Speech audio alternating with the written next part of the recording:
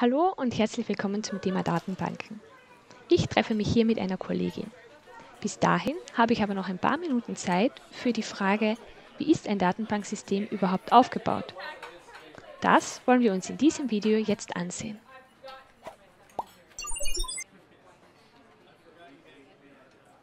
Nochmal zur Erinnerung.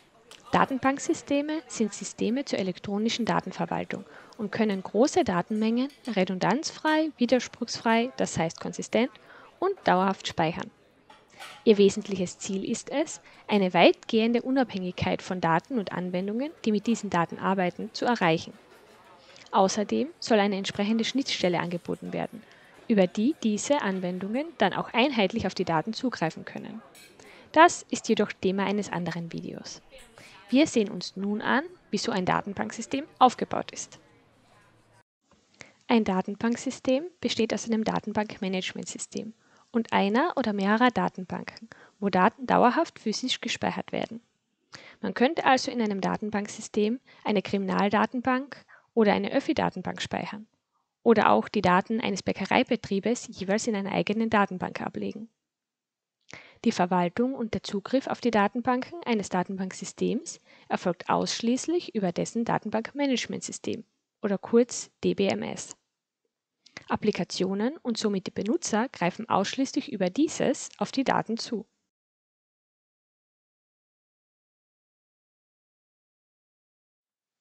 Eine Datenbank liegt im Allgemeinen nicht im Hauptspeicher eines Rechners, sondern ist üblicherweise in dessen Sekundärspeicher, also einem Speichermedium wie der Festplatte abgelegt. Sie umfasst oft sehr große Datenmengen, die mehrere BenutzerInnen gleichzeitig bearbeiten können. Dabei darf es zu keinen inkonsistenten Datenzuständen kommen, denn Daten sind teuer und strategisch wichtig. Datenbanken müssen daher zuverlässig sein und auch vor unberechtigten Zugriffen geschützt werden.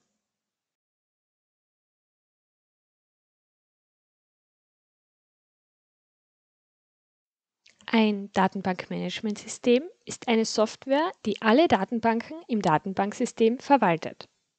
Sie enthält die gesamte Logik und Funktionalität, um die Daten in einer Datenbank persistent zu speichern, unerwünschte Wechselwirkungen durch gleichzeitige Verwendung derselben Daten zu verhindern, Datenschutz und Datensicherheit zu ermöglichen und Anfragen an die Datenbanken zu verarbeiten. Und noch einiges mehr. Hier genannt sind nur die wesentlichen Aufgaben. Ein Datenbankmanagementsystem bietet also unter anderem folgende Funktionalitäten. Es ermöglicht die Datendefinition, das heißt, die Struktur einer Datenbank wird aufgebaut. Es erlaubt außerdem die Datenmanipulation, das heißt, wir können Daten in der Datenbank pflegen, indem wir Datensätze eingeben, ändern und löschen. Eine weitere Möglichkeit, die uns ein Datenbankmanagementsystem bietet, ist, Informationen aus der Datenbank über Datenabfragen zu gewinnen. Des Weiteren unterstützt das Datenbankmanagementsystem durch Mechanismen zur Vergabe von Zugriffsrechten auch die Datensicherheit und den Datenschutz. Darüber hinaus ermöglicht es, Daten zu sichern, zu exportieren und zu importieren. Damit können wir Daten anderswohin übertragen. Ein Datenbankmanagementsystem basiert immer auf einem speziellen Datenmodell. So ein Datenmodell umfasst eine Menge von Konzepten, mit der die Struktur einer Datenbank das sogenannte Datenbankschema, beschrieben werden kann. Relationale Datenbankmanagementsysteme basieren zum Beispiel auf dem relationalen Datenmodell, einer intuitiven und einfachen Art, Daten in Tabellen darzustellen. Zu den bekanntesten relationalen Datenbankmanagementsystemen gehören beispielsweise PostgreSQL, IBM DB2, MySQL, Oracle, der Microsoft SQL Server oder SQLite. Daten können dann beispielsweise so aussehen. Hier sehen wir einen Ausschnitt der Daten zu Delikten und Verdächtigen, wie sie in der Datenbank gespeichert sind.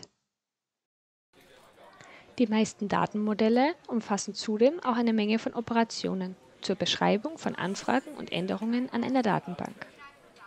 Das relationale Datenmodell kennt da beispielsweise Abfrageoperationen wie die Selektion, die Projektion oder den Join und auch Operationen zum Erstellen und Ändern des Datenbankschemas. Relationale Datenbanken setzen dafür als Abfrage- und Manipulationssprache auf die Sprache SQL, kurz für Structured Query Language. Soweit, so gut. Nun wissen wir, was ein Datenbanksystem, ein Datenbankmanagementsystem und eine Datenbank ist. Sehen wir uns jetzt den Aufbau einer Datenbank noch aus einer anderen Perspektive an. Das ANSI Spark Drei-Ebenen-Modell hat sich als Standard für den Aufbau von Datenbanken durchgesetzt. Es beschreibt eine prinzipielle Architektur von Datenbanken, an dem sich sowohl die Hersteller von Datenbanksoftware als auch die Betreiber von Datenbanken orientieren sollten. Das ANSI Spark Modell umfasst drei Abstraktionsebenen, die externe, die konzeptuelle und die interne Ebene. Beginnen wir mit der untersten, der internen Ebene.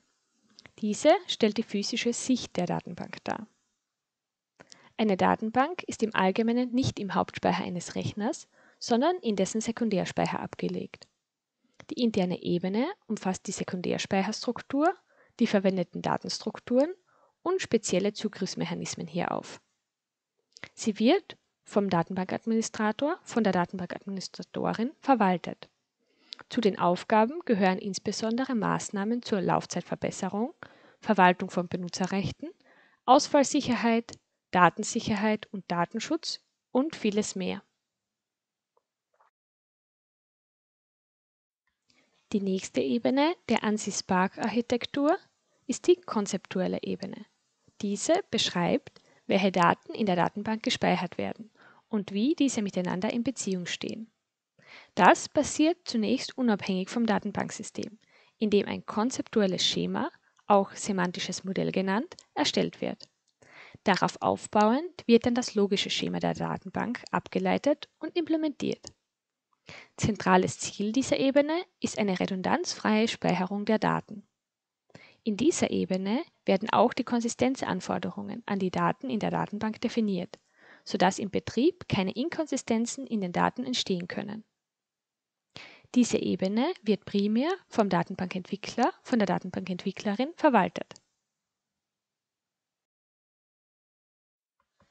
Die externe Ebene der ANSI-Spark-Architektur enthält schließlich die Benutzersichten auf die Daten bzw. den Ausschnitt aus den Gesamtdaten, den spezielle Benutzerinnengruppen mit ihren Anwendungen benötigen.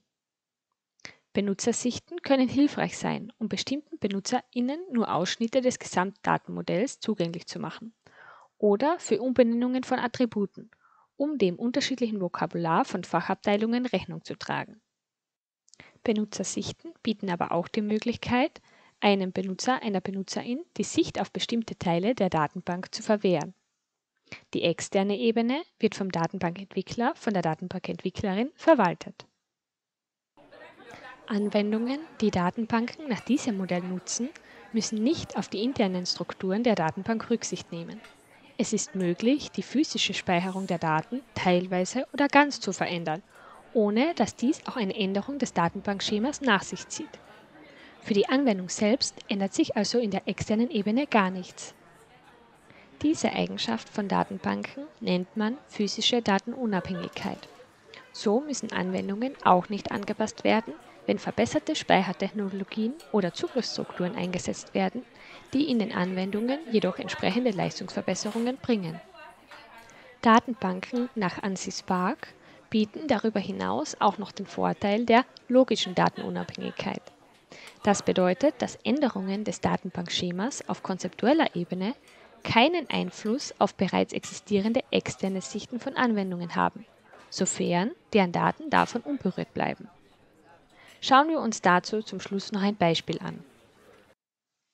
Nehmen wir als Beispiel diese Relation Produkt der Bäckerei hier her, die vom Verkäufer über eine eigene Verkaufsanwendung verwendet wird, um Preise zu berechnen und Rechnungen zu erstellen.